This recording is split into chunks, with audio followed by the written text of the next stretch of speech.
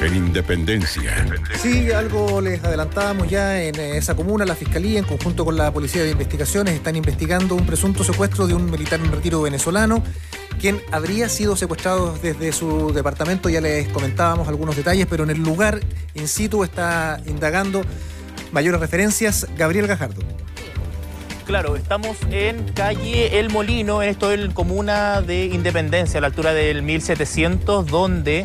eh, aparentemente a eso de, de las 8, 8 y media de la mañana, acá en este sector, habría sido secuestrado Ronald Ojeda Moreno. ¿Quién es Ronald Ojeda Moreno? Estamos refiriendo a un teniente en retiro de las Fuerzas Armadas Nacional Bolivariana, esto de Venezuela, quien habría sido secuestrado por un grupo cercano a cuatro sujetos que habrían ingresado hasta el interior de este departamento, hasta el piso 14 específicamente de este edificio residencial, todos vestidos según lo que se muestran en imágenes de las cámaras de seguridad que pudimos corroborar in situ acá en el lugar, eh, vestidos de lo que serían policías blindados, una suerte de policías blindados quienes subieron hasta este departamento y habrían secuestrado a este teniente en retiro. ¿Quién es Ojeda Moreno? Es un teniente en retiro de las Fuerzas Armadas Nacional Bolivariana que fue degradado y expulsado de la misma por Nicolás Maduro junto a otros 32 militares por los cargos de conspiración. ¿Qué es lo que se mantiene hasta el momento? La información es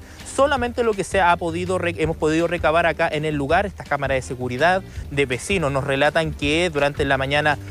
no sintieron mayor alboroto, mayores discusiones, lo que sí desde la misma consejería, de la misma administración del edificio, nos pudieron comentar sin darnos mayores antecedentes que todo ya ha llegado también PDI, ya se pusieron en contacto Fiscalía en el lugar, en una causa que fue anunciada en que está en carácter secreto. Es una investigación pues, debido a su complejidad que es eh, de carácter reservado. ¿Por qué? Porque la familia de Ojeda Moreno está acusando que fue secuestrado por la Dirección General de Contrainteligencia Militar del gobierno de Nicolás Maduro. ¿Qué significaría esto? Significaría que esta causa de llegase a confirmar este secuestro y llegase a confirmar las informaciones que se están manejando hasta el momento, significaría obviamente una causa que aumentaría eh, de gravedad, teniendo en cuenta que sería una,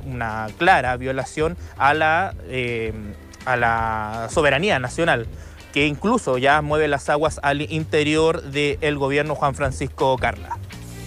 Ya, todavía la información la vamos a mantener un poco incondicional, esperando que haya más información y que el gobierno chileno vaya confirmando también todos estos datos, pero efectivamente esto se está investigando como un presunto secuestro. Esto habría pasado ahí justamente eh, donde estábamos diciendo, en la comuna de Independencia, donde está Gabriel, en el piso 14, que era donde residía esta persona, que claro, lo que se dice es que él había tenido, obtenido el asilo por parte del gobierno el año pasado, el 2023, pero que estaba sin protección policial en nuestro país. Eh, es verdad también lo que dice Gabriel em, Juan Francisco, porque la disidencia venezolana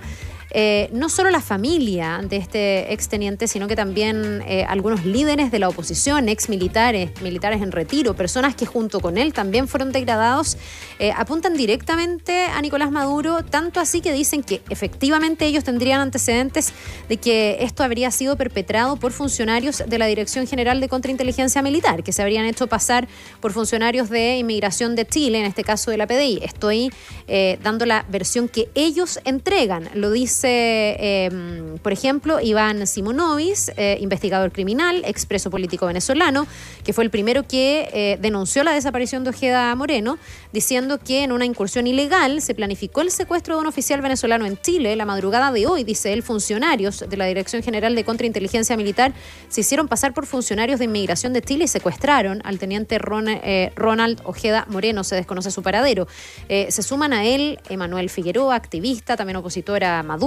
Em, se suma eh, Tamara Suju, otra activista abogada defensora de los derechos humanos en Venezuela, José Antonio Colina, militar retirado. Bueno, todos ellos apuntan directamente al gobierno de Nicolás Maduro. Si todo esto fuera así, sería evidentemente muy grave. Eh, y es lo que ha hecho también que a esta hora haya parlamentarios que están pidiendo que sea citada la ministra de Defensa, Maya Fernández, de manera urgente al Congreso para que entregue los antecedentes con los que se cuenta, que me imagino podría ser en una cita privada, pensando en que la investigación es privada. No sé si tendríamos acceso eh, necesariamente a la información que ahí se pudiera vertir. Sí, sí, sobre todo en el contexto que estamos hablando de esta investigación reservada. em, que con estos hechos en desarrollo evidentemente tiene muchos flancos abiertos y también mucha preocupación porque eh, si hay un flanco eh, abierto que tiene eh, nuestro país son sus fronteras. Mm. La amplísima frontera marítima y la amplísima frontera terrestre que tiene, no sabemos cuánto, pero sí sabemos que se usan pasos no habilitados para entrar y salir del país. y una de las alertas es que eventualmente esta persona pudiera haber sido sacada del país en todo el rato que ha pasado por alguno de estos lugares y la verdad es que ella se haya perdido definitivamente cualquier control sobre esta situación. Bueno, son situaciones que solo le mm, agregan pelos a la sopa a este delicado contexto en el que estamos hablando en el que están todavía las autoridades reunidas en el Palacio de Gobierno, mm. tratando finalmente de eh, cuajar, porque claro, acá no pueden eh, una autoridad de gobierno eh, enarbolar una declaración con antecedentes incerteros eh, poco precisos que puedan finalmente luego escalar eh, eh, y convertirse finalmente en un conflicto, un conflicto de, otro, de otro tipo, en un conflicto diplomático, si es que lo que se dice no fue finalmente lo que estaba ocurriendo. Entonces hay que una tener cosa, cuidado. Una cosa que pudiera parecer anecdótica, pero que también habla de este nuevo contexto en Chile donde los secuestros ya no son tan raros como antes, existieron siempre, pero, pero en tasas muy, muy bajas y lamentablemente esto ha ido aumentando. Y hoy día ya hay situaciones que nos ponen en la teoría del secuestro más allá de saber de quién se trata, porque hoy día ese, eh, al parecer, todo indicaría que el auto en el que habría sido trasladado durante la madrugada este, este exteniente, que ha sido hasta ahora declarado como desaparecido,